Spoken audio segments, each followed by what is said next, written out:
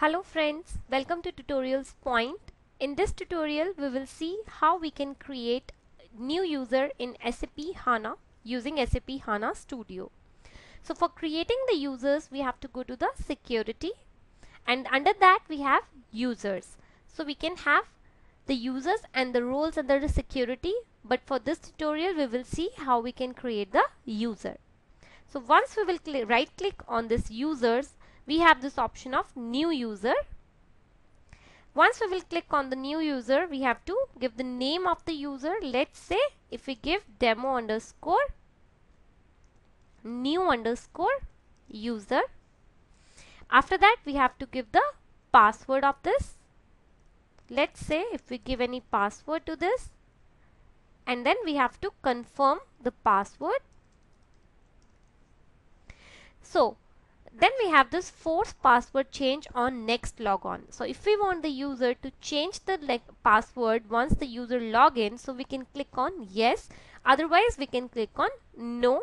If we click on no, so the same password will be used by the user. Then we have this valid from and valid until. So if we want to make the user active for certain period of time, we can select the from date and we can select the to date so the user will be valid only till this period of time. So once we have selected the validity, after that we have the options of granting the roles, system privileges, object privileges. So when we create the system in the uh, user in the system, so we should restrict the access to the data. We cannot provide the access to everything or we cannot provide the access to nothing. So we have to provide the access to certain content in the system. So let's say if I want to create the user to which I want to provide the access to only one schema here. What I will do here is I will go to the object privileges. I will click on this plus sign and here I can enter the name of the schema to which I want to give the access. So let's say if I want to give the access only to the eFashion schema.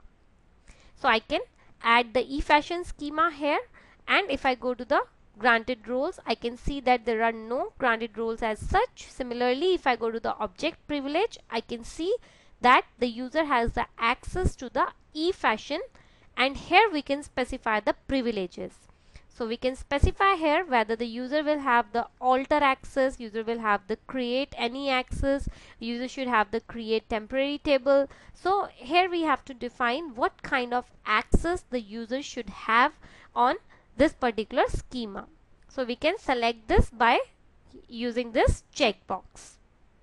So whatever access we want to give to the user on this schema, we can give here. And after that we have this option of grantable to others. So it means that if we provide yes to this option, it means the user should be able to provide alter access for this schema to other users as well. If we give no, then it means the user will not be able to give the alter access to the schema to other users. So this is how we can control it. So now let's say if we have done it, so we will click on the deploy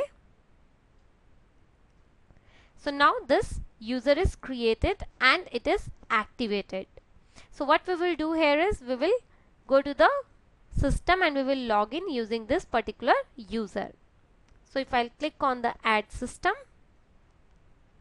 here I will enter the name of the HANA system and then we have to give the name of a number of the instance.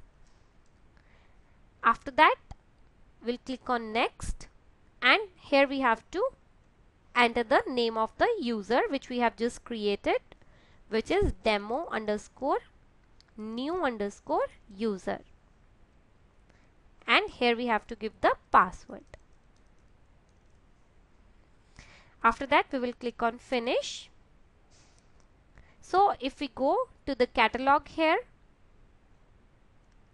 so we will be able to see that what all access this user has. Sorry, uh, we have to go to the demo new user. So if we go to the catalog here, we can see that this user has the access to the eFashion schema. Whereas if I go to the HANA user and if I expand the catalog here, so there are n number of schemas. But this new user, it, it has only the access to the system, system schemas and the e-fashion.